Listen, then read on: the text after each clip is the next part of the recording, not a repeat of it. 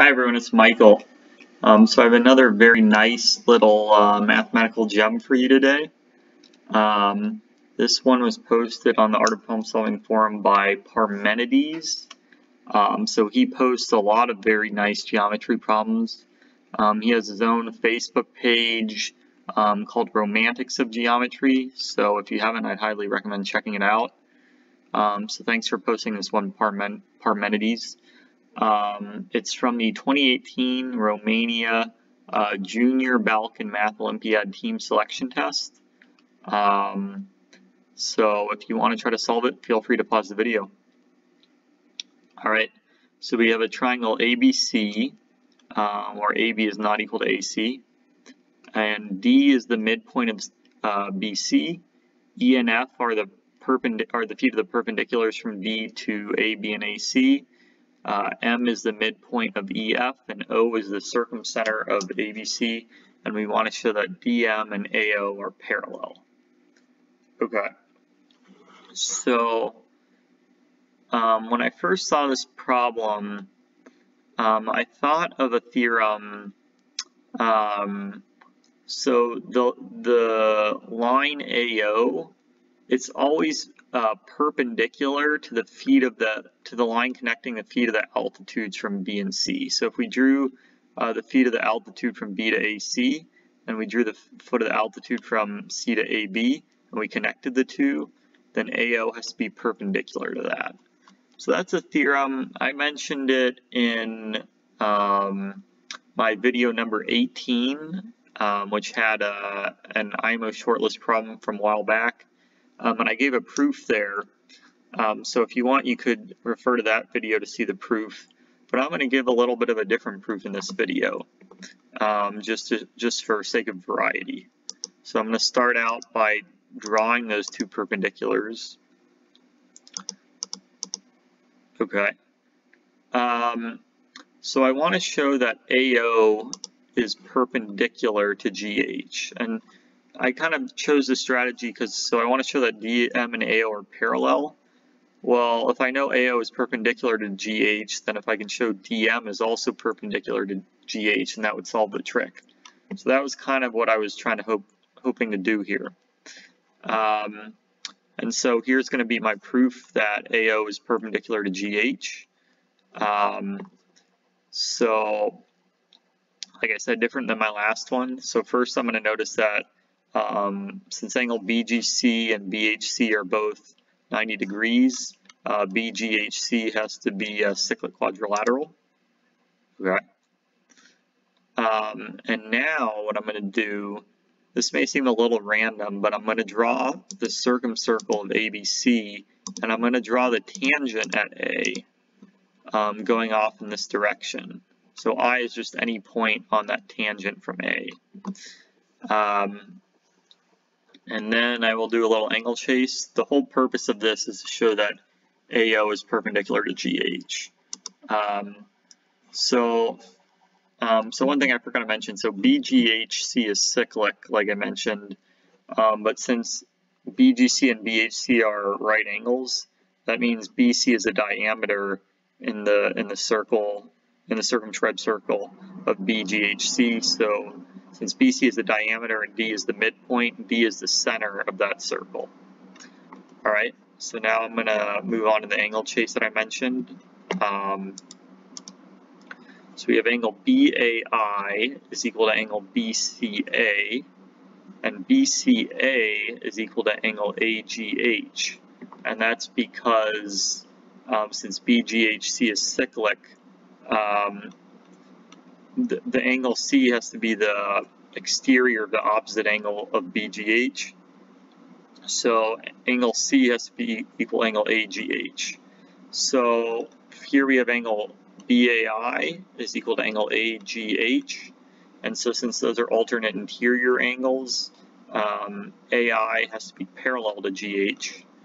Um, but so if AI is parallel to GH, well, we know AI is perpendicular to AO because um, it's a tangent at point A. So since AI is perpendicular to AO, then AO has to be perpendicular to GH. So I'm going to write that out. like I said, AO is perpendicular to AI, so AO has to be perpendicular to GH since it's parallel to AI. So this is a little bit of a different um, proof of that fact than in my previous video. Um, but yeah, so all that was just to show you this one fact, which some people might just see right away just because they've seen it so many times.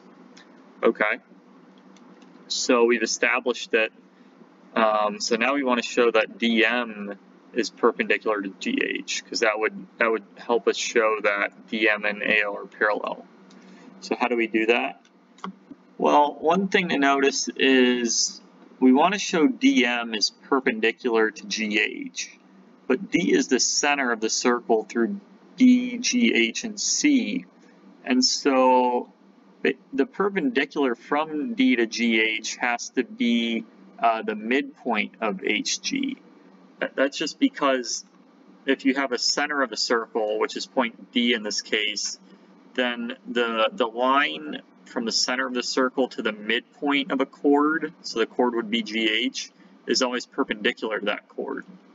So I'm going to um, construct a point J to be the midpoint of GH.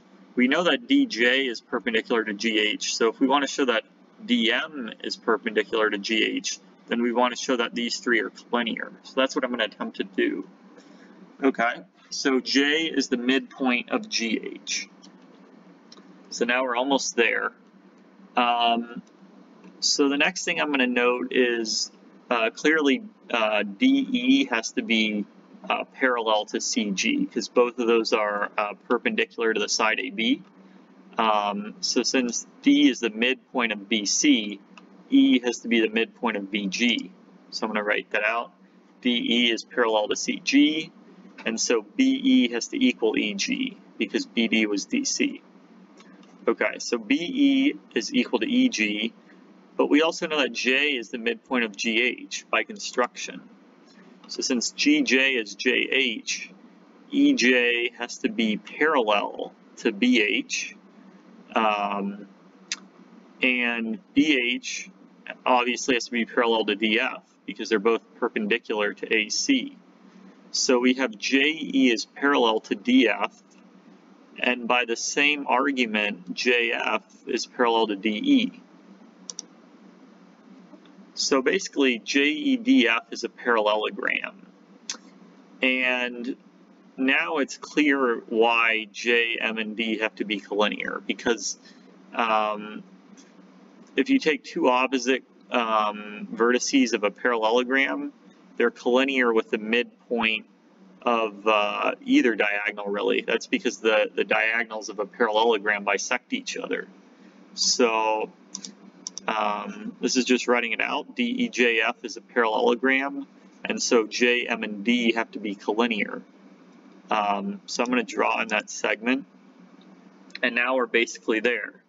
Um, so since DM and J are collinear, um, like I mentioned before, since D is the circumcenter of BGHC, um, DJ has to be perpendicular to GH because the center of a circle is, is um, if you connect it to the midpoint of a chord, GH in this case, uh, the line connecting it has to be perpendicular to that chord.